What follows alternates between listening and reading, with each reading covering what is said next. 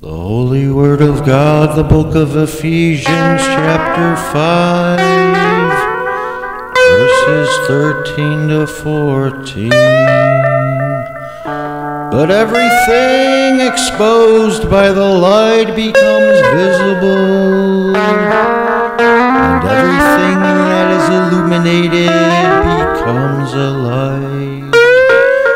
This is why it is said, Wake up, wake up, sleeper, rise from the dead, and Christ will shine. Ah.